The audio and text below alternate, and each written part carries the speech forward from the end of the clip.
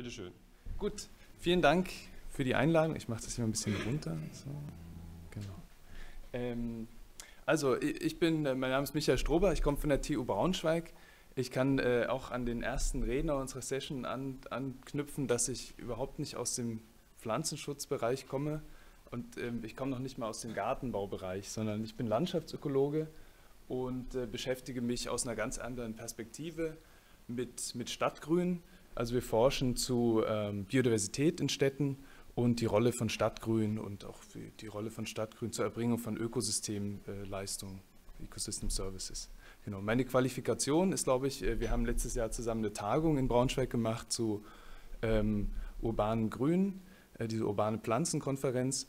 Und äh, dort habe ich äh, eine App vorgestellt, die wir eigentlich mal für die lange Nacht der Wissenschaften in Braunschweig entwickelt haben, sozusagen. Und ich glaube, das, und, und ich bin privat auch äh, Gärtner, vielleicht ist das auch noch eine Qualifikation. Ich hätte übrigens großes äh, Interesse an, an dieser Schneckenhäckselmaschine. Gut. Ich möchte erstmal anfangen mit einem ähm, Exkurs in die Biogeografie. Äh, wir hatten gestern schon diese Landschafts- oder diese ökologischen Ansätze. Ähm, da möchte ich damit einleiten. Dann wollte ich eigentlich die Garten-App zeigen. Das scheint nicht zu gehen. Mal gucken, vielleicht kriege ich das noch irgendwie hin. Ähm, dann wollte ich eine kleine Übersicht geben über was es sonst noch so für Apps gibt in dem Bereich, ohne dass ich da irgendwie den Anspruch habe, äh, das vollständig abdecken zu können und einen kleinen Ausblick geben. Gut, die äh, Biogeografie, das äh, sagt Ihnen vielleicht noch was aus dem Studium. Früher wurde sowas ja auch im Biologiestudium noch, noch gelehrt, ich glaube jetzt auch noch im Grundstudium. Ähm, die, das ist äh, eine Theorie von MacArthur und Wilson aus den 60er Jahren, die sich äh, Karibikinseln angeschaut haben und die haben festgestellt, so bestimmte Beziehungen, dass je größer so eine Insel ist, sind verschiedene Inseln, desto größer ist auch die Artenzahl. Und dann haben sie noch äh, Regeln gefunden, je größer eine Insel, äh, je näher eine Insel am Festland ist, desto mehr Arten gibt es und je weiter die weg ist, desto weniger Arten gibt es. Das ist so eine ganz äh, grundlegende, ganz einflussreiche Geschichte, die ähm, wenig später schon angewandt wurde. Genau, das ist nochmal das Prinzip. Ähm, hat man auch festgestellt, das trifft eigentlich auch für, für Landhabitate zu, weil viele von denen sind irgendwie vereinselt. Ähm, das ist hier äh, Jared Diamond, den kennen Sie vielleicht von, solch, von so Bestseller-Büchern, aber früher hat er auch mal wissenschaftlich gearbeitet, ähm, sozusagen im Feld, auf Neuguinea sehr viel, ähm, mit Schutzgebieten. Und er hat auch festgestellt, dass sozusagen große Schutzgebiete deutlich mehr Arten beherbergen als kleine. Und er hat dann auch so Prinzipien abgeleitet, die, ähm, die dann später eine ganz große Rolle gespielt haben für so Prinzipien wie Biotopverbund oder ganz modern für so eine ähm, Konzepte wie grüne Infrastruktur, ja, dass sozusagen große Gebiete sind besser als kleine, oder ähm, wenn man schon mehrere kleine hat, dann sollten die näher beieinander sein. Oder so Korridore sind besser, als wenn ähm, Schutzgebiete vereinzelt sind. Gut.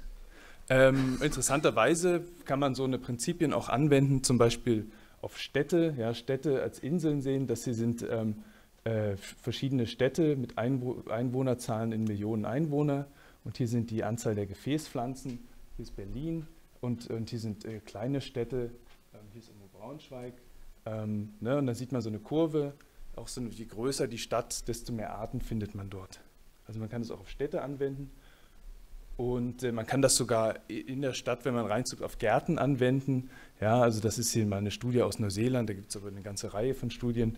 Je größer ein Garten ist, desto mehr einheimische Pflanzenarten findet man da auch. Also das sind jetzt hier nicht die kultivierten Arten, sondern die, die sozusagen ähm, von selber dort vorkommen. Gut, ähm, je größer, desto mehr Arten. Ähm, und äh, natürlich ist ein, ein Problem, man, irgendwie, man kann ähm, Gärten ja nicht einfach vergrößern. Ähm, man hat festgestellt, je strukturreicher so ein Garten ist, desto mehr Arten findet man dort. Aber da kommt ganz schnell kommt man äh, wieder an diesen Vernetzungsgedanken, dass sozusagen der Artenreichtum allgemein in Gärten steigt, wenn die irgendwie vernetzt sind. Gut, und warum will man eigentlich Artenreichtum haben? Die Idee dahinter ist, dass wenn man ähm, ähm, Lebensgemeinschaften hat mit, mit ähm, komplexeren Nahrungsnetzen, dass dann auch solche Aspekte wie, wie biologischer Pflanzenschutz sozusagen besser funktioniert. Es gibt gar nicht so viele Studien zu dem Thema, es gibt ein paar.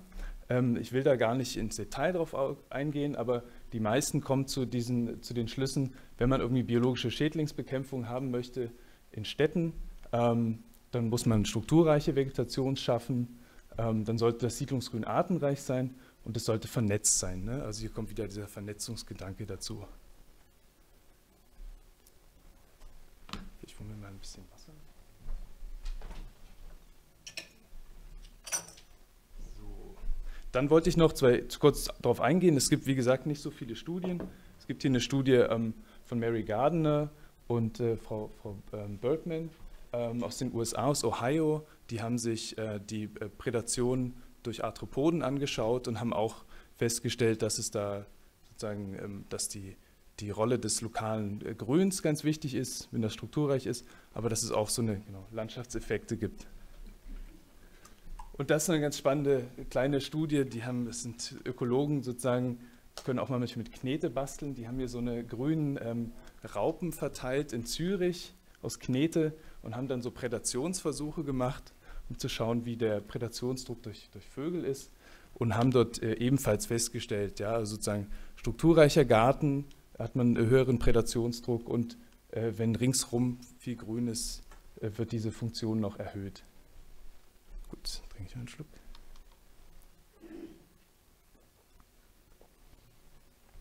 Ein Mechanismus dahinter ist eindeutig, oder ein, ein, Treiber ist die Vegetation. Das will ich noch kurz zeigen, eine Studie aus, aus England. Die haben was ganz Spannendes gemacht. Die haben 450 äh, Meisen ähm, gefangen und mit diesen kleinen RFID-Chips ausgestattet. Dann haben die in drei verschiedenen Stadtlandschaften ähm, so standardisierte Futterhäuser aufgebaut, an denen die immer eingescannt werden. Sozusagen wie in der Supermarktkasse wurden da die, die Vögel gescannt, wenn die die besucht haben.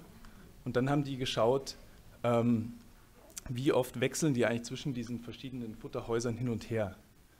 Und das haben sozusagen eine sehr fragmentierte Landschaft mittelmäßig und eine gut vernetzte Landschaft. Je dunkler hier diese Farben, desto höher ist die Vegetation. Also das sind Bäume sozusagen. Hier gibt es recht wenige Bäume, sehr isoliert und hier gibt es sehr viele. Und was die rausgefunden haben, ist ganz ähm, spannend. Man denkt ja gar nicht bei Vögeln irgendwie, dass für die diese Konnektivität wichtig ist. Dem, also ist zumindest erstmal nicht so intuitiv. Aber natürlich die vernetzte Landschaft da sind diese Meisen deutlich häufiger gewechselt zwischen den Futterhäusern und die haben dann hier so eine Netzwerke auch ähm, für diese, das sind sozusagen dieselben Punkte wie oben. Äh, je größer, desto häufiger wurden die besucht und dann ähm, die Dicke der Linien sagt, wie häufig da Vögel zwischen diesen äh, Futterhäusern hin und her gewechselt sind. Ne? Und da sieht man halt diese ähm, gut vernetzte Stadtlandschaft, da gibt es auch einen Austausch von diesen Vögeln. Gut, nun ist ja die Frage, Stadtgrün ist, ist glaube ich, ähnlich wie die Agrarlandschaft eine ganz komplexe Geschichte, weil es dort sehr viele verschiedene oder die Besitzverhältnisse sind einfach kompliziert. Das ist hier mal ein Gebiet äh, in der Nähe von der Uni in Braunschweig. Ähm, das sind hier aus, aus äh, Luftbildern abgeleitet die, die Grünflächen sozusagen. Ähm, und wenn man da mal die Grundstücksgrenzen drüber liegt, ne, da sieht man, das ist teilweise extrem fragmentiert. Hier sind diese einzelnen Häuser, hier das gehört der Uni, das gehört der Stadt, ähm, hier gibt es eine Bahnlinie irgendwo, also das ist ein ganz heterogenes Gemisch. Und deswegen, ähm, das ist erst eine Studie von vor zwei Jahren, die haben sich angeschaut, die Rolle des Stadtgrüns für Artenvielfalt und die haben das sozusagen zusammengefasst mit diesem Ausspruch The Tyranny of Small Decisions sozusagen. Ne? Also wie kriegt man eigentlich die, diese, diese ganzen unterschiedlichen Interessen und Besitzer irgendwie auf einen, auf einen Nenner sozusagen. Und jetzt wollte ich Ihnen eigentlich die Garten-App zeigen. Vielleicht kriegen wir es doch noch irgendwie hin. Da sind wir doch. So, sehr schön. Also wie gesagt, das ist aus der Idee für, eine, äh, für so eine ähm, TU-Night entstanden. Die Idee dahinter war, wir würden gerne mehr informieren und auch unsere, unsere Ergebnisse sozusagen direkt zurückgeben. Wir machen da irgendwelche Modelle, veröffentlichen die in englischen Fachzeitschriften. Da hat ja irgendwie der, der, der Bürger gar nichts davon. Und die Idee war auch für uns, dass man darüber auch so ein bisschen Informationen bekommt, äh, wie sozusagen privates Grün irgendwie gemanagt wird. Ähm, weil man da ja auch gar nicht so viel über weiß. Ne? Also das gibt hier so ein Einstück über so eine, so eine Karte, ähm, wo man dann ähm, seinen Garten suchen kann. Kann irgendwie mal reinzoomen. Gucken. Hier zum Beispiel der Garten ist. Und äh, dann kann man ein paar Angaben machen über ähm, Maßnahmen, mit denen man vielleicht Biodiversität fördert in seinem Garten. Ähm, es gibt hier, das ist eine Studie, die ist, das ist sozusagen alles hinterlegt mit, mit Literatur. Ähm, das war letztes Jahr aus der Schweiz eine Studie, die äh, sich die mit diesen, genau diesen Bildern hier gearbeitet haben, wo es um Biodiversität in Gärten ging. Und da kann man sozusagen angeben, wie sieht jetzt eigentlich die eigenen Flächen aus. Ähm, dann, das interessiert uns, sozusagen, was für Wildtiere beobachten die Leute da in den Gärten und dann geht man hier auf Berechnen. Und ähm, dann wird sozusagen im Hintergrund aus einer Datenbank, werden Vegetationsdaten in einer 1 Meter Auflösung aus einer Datenbank gezogen und man sieht dann hier den Garten sozusagen im Laserscan-Bild und äh, dann sieht man sozusagen, wie viele Bäume gibt es da, wie viele Sträucher. Dann gibt es hier vielleicht so einen, so einen, schlauen Satz, Sie könnten auch mal ein bisschen mehr tun für die Strukturvielfalt. Ähm, und dann äh, sieht man sozusagen, wie viel äh, äh Kohlenstoff ist da gebunden in der Vegetation, wie ist die Kühlung an einem Sommertag, was macht man selber für Tiere und Pflanzen. Ja, da sieht man hier, dass ich habe da oben nichts angegeben, deswegen würde jetzt hier kommen, Sie könnten auch mal ein bisschen mehr tun. Ähm, und dann, das ist ganz spannend, da sieht man, das ist so ein ähm, Konnektivitätsmodell ähm, für Eichhörnchen. Ja? Also wie kommen Eichhörnchen in der Stadt von A nach B? Und die brauchen natürlich hohe Bäume und man sieht dann sozusagen, ob der Garten potenziell ein, ein wichtiges Verbindungselement ist für diese Tiere.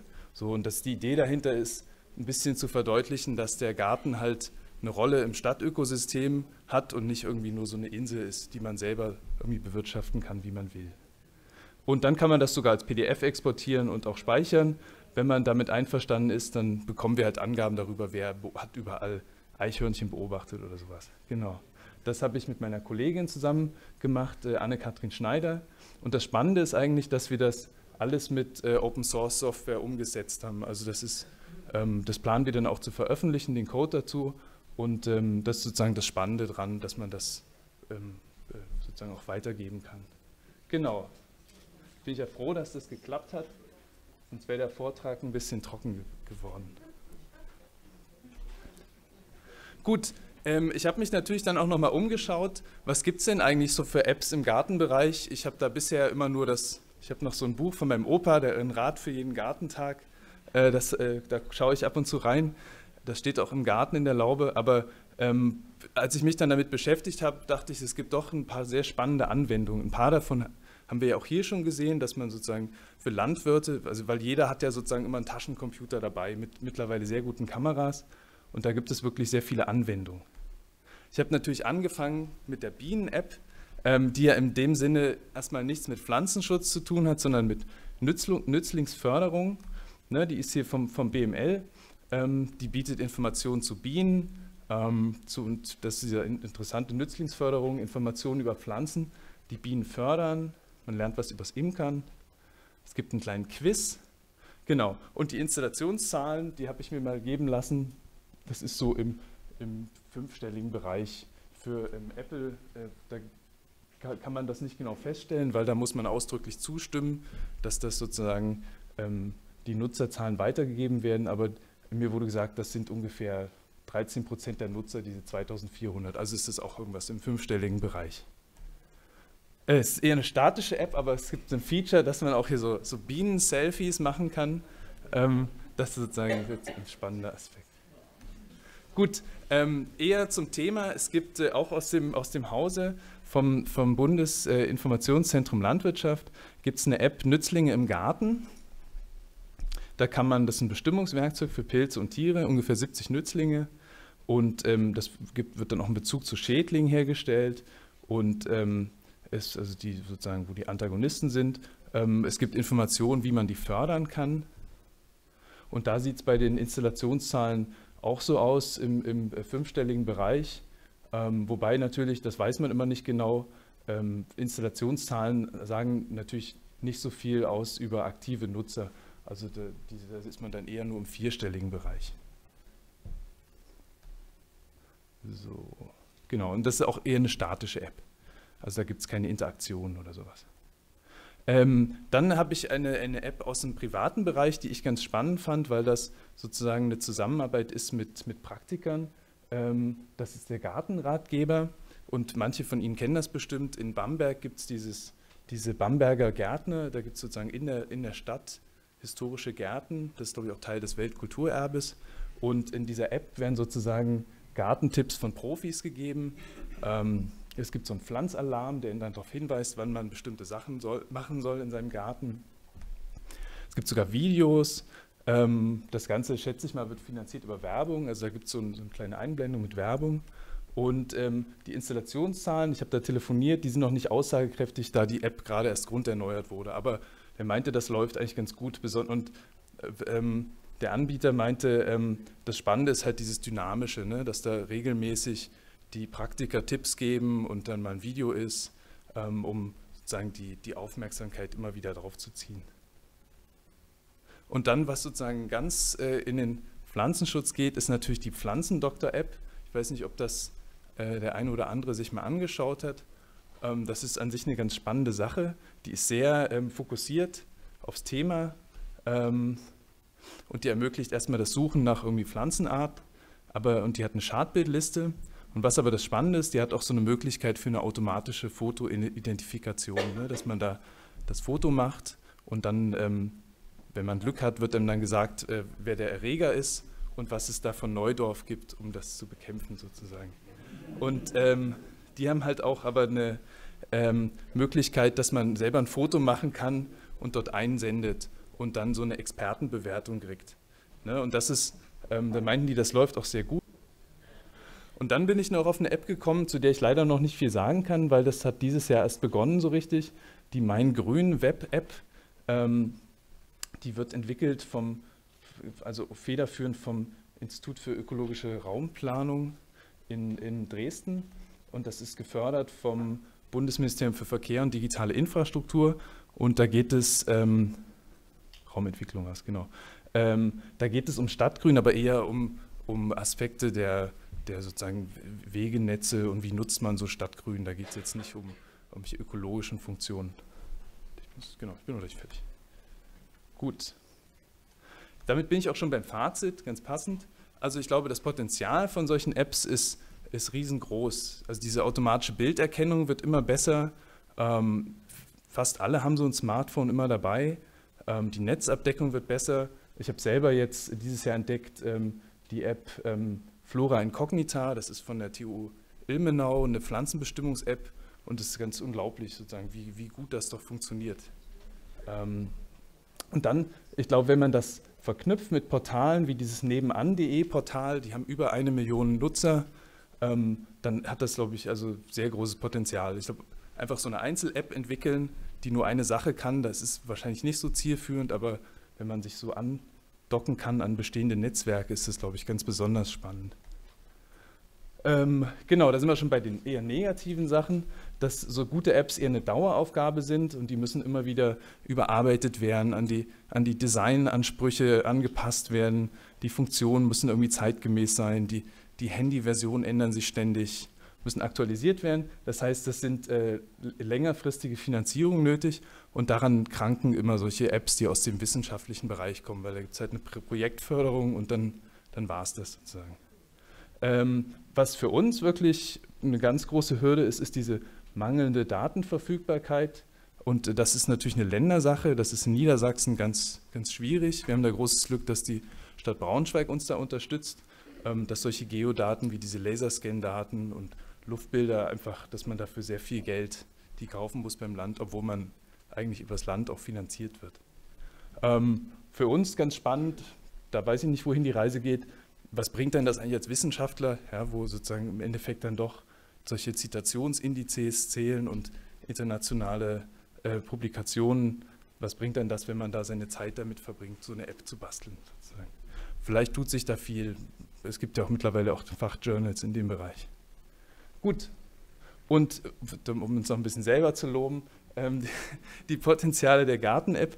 Ähm, das Spannende ist, glaube ich, wirklich, diese aufzuzeigen, dass der Garten irgendwie eine Rolle im, im Ökosystem ähm, spielt und dass man das natürlich beliebig erweitern kann, zum Beispiel um Aspekte des Stadtklimas oder man könnte das auch kombinieren mit irgendeinem Förderprogramm zur Begrünung von, von äh, Privatflächen, äh, das immer mal wieder durch die, durchs Grünflächenamt in Braunschweig geistert, diese Idee. Genau, und wir sind sehr gespannt, was sich sozusagen aus dem Weißbuchprozess ergibt, wo genau diese Punkte drinstehen, ne? Citizen Science Ansätze, Bewusstsein privater Akteure äh, schärfen ähm, und äh, Forschungs- und Modellvorhaben ähm, durchzuführen. Genau, und damit möchte ich auch enden.